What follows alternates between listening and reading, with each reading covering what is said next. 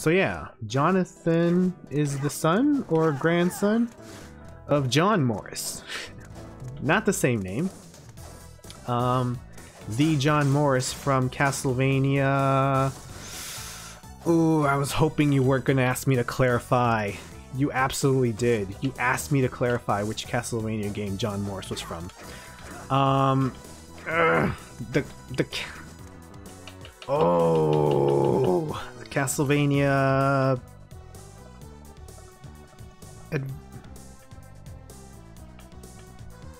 I don't know, dude. I don't know. It was the one with. It, it was the one with John Morris and Eric Lecarde, which um.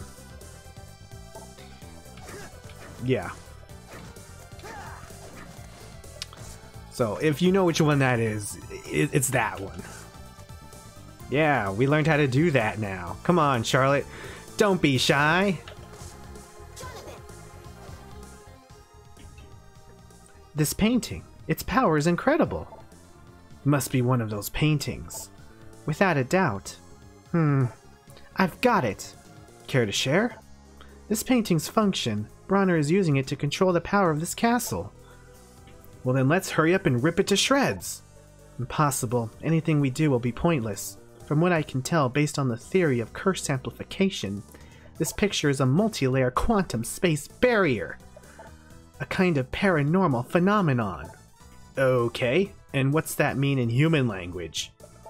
Uh, not throwing random words together. In short, I think it's a series of walls that surrounds the magic control the magic controlling Dracula's castle. This painting itself is just the outermost wall. As soon as you break it, it'll generate. It's unbreakable. How convenient. So now what? I'll align my magic with the painting so we can enter it. That's right. Super Mario 64 style. That'll be the best way to circumvent the castle's magic. The risk is quite high though. No problem. What do we have to lose? Okay then, here we go. Wahoo! Here we go! So we're in the painting now?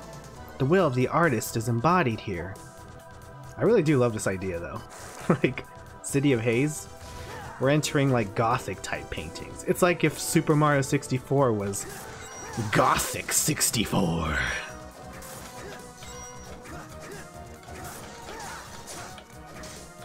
And there's like enemies. I mean, there was enemies in 64 too. I don't know. That's Death Mask. That's not what I would expect a Death Mask to look like, but that's what it is. No, don't hit me! Oh, Charlotte got a, got a little tiara. How cute. Made of flowers from a meadow.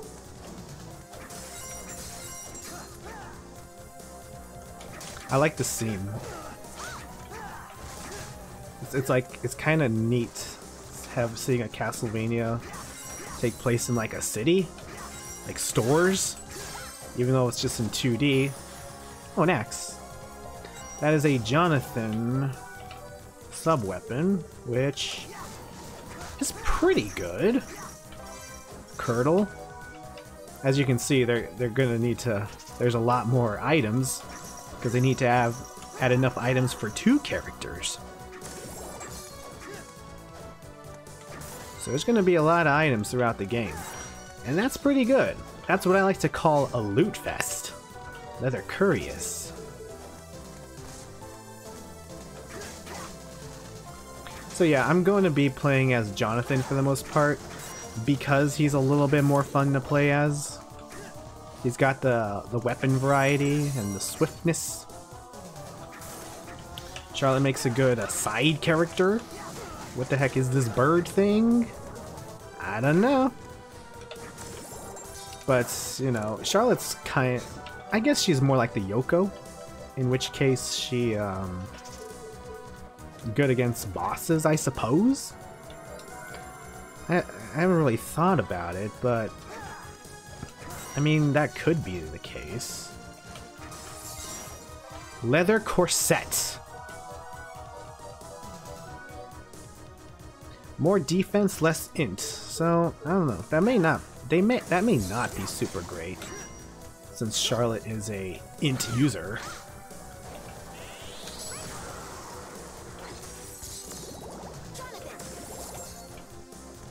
But I guess we'll see.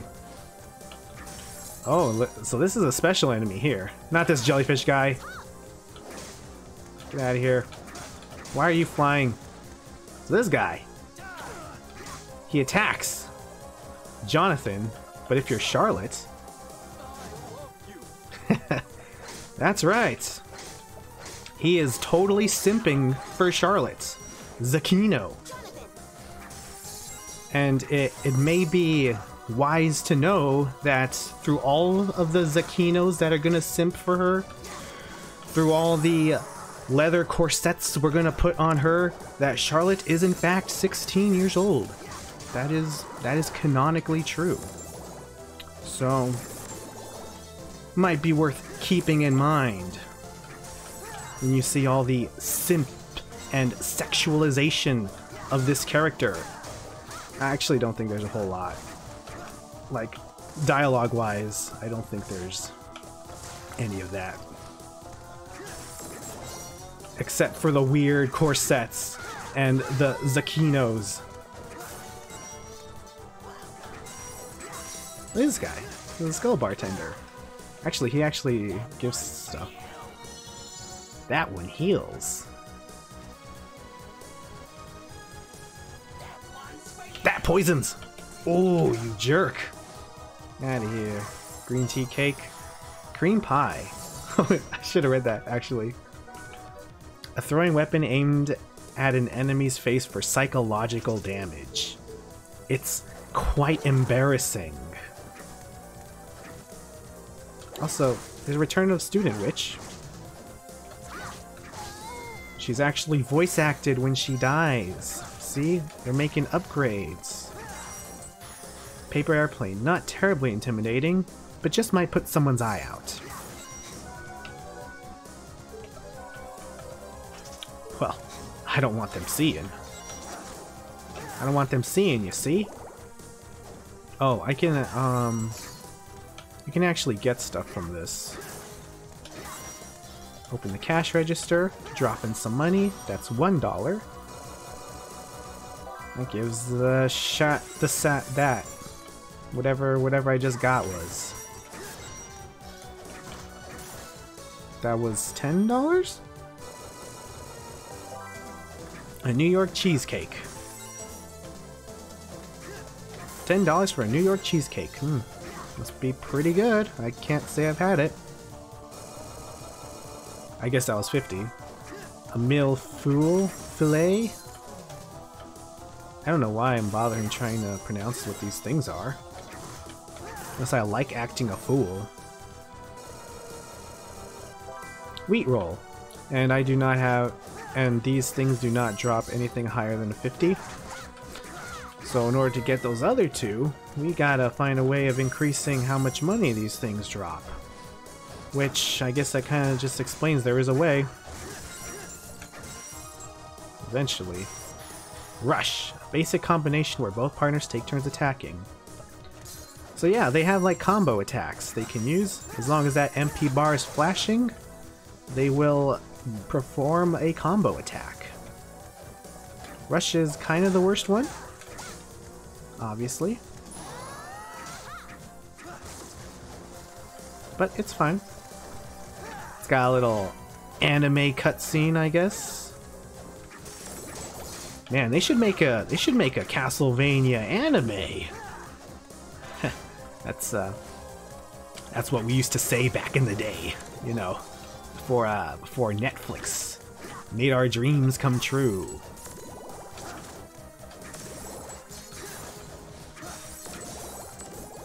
Those little guys are quite the nuisance. Slinger no slinging, slinger no slinging. oh, man. So many zombies.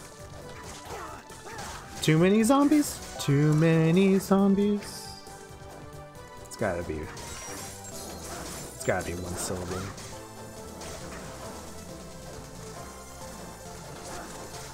Simp on Charlotte for a bit. So that she can roast you. Oh yeah, dude. Leather whip. You know we going whips up in here.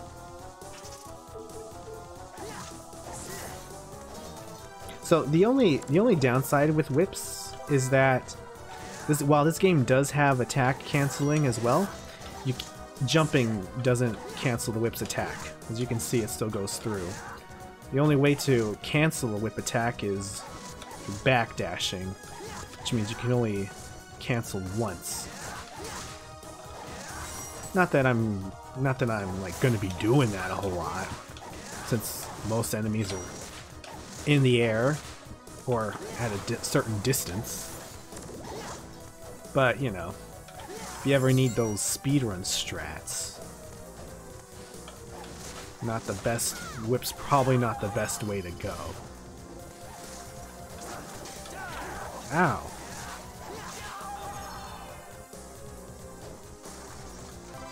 All pin heels. Charlotte, you like pin heels, right? Eight, eight. Wait, these are both the same? Oh, okay. Oh, one of them's for Jonathan, that's why. Sandals are unisex, so anybody can wear that. Holy Lightning. This is the better one. Um, only problem with those is that you have to equip them to both people. Which I guess means that they can each equip something separately, but I usually don't. Well, I don't have enough MP to even use it. I gotta level up at least one more time. Which should be coming up relatively soon.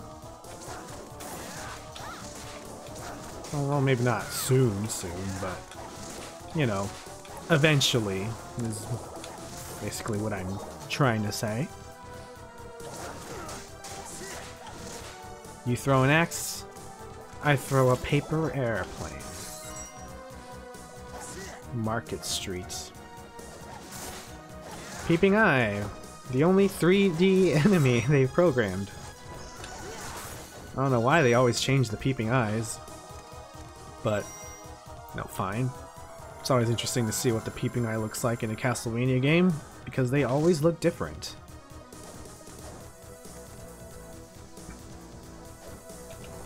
You stay there, I will join you shortly.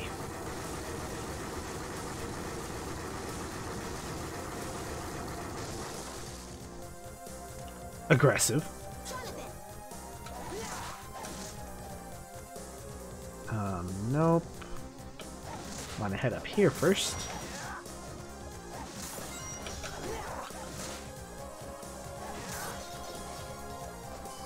Yeah, the City of Haze is probably one of my favorite levels in this game. Just because it's, like, really neat. Even the music really adds to the theme. Gale Force. That's a good Charlotte spell. Mace, that is a two-handed. I'm not gonna be not gonna be going with two-handed slow weapons. The slowest weapon I'm gonna go for is the whips. Skill cube. Use partner's skill with R. So I don't have to change to her to use the thing.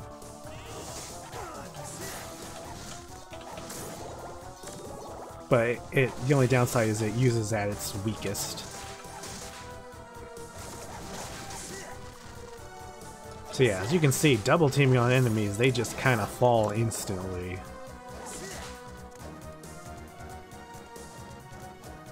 But they make up for it by, um, I don't know, having more enemies? I don't, I don't really know. Maybe they don't make up for it. Maybe that's why this game's kind of easy. Alright, see you then.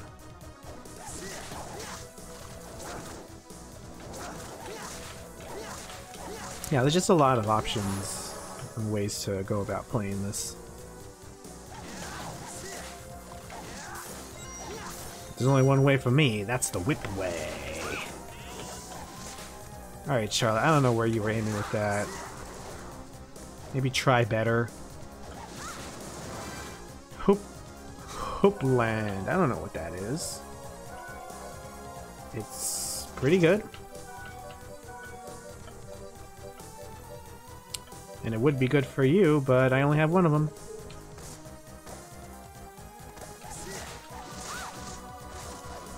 Axe armor. Explain what kind of room this would be, by the way. Like a cathedral? Why is there a dead man laying there? And why are there so many signs? It's like a... Almost like a train station, but it's a cathedral? I, I don't I don't quite know what what the design of this little area is. Oh, it's not good. Get him, Charlotte. Get him. You saw he trying to punk us? Get him.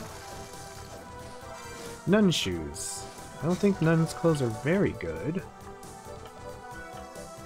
But they're good enough. It's actually part of a side quest eventually is getting all those nun clothes, so definitely gonna want to pick them up.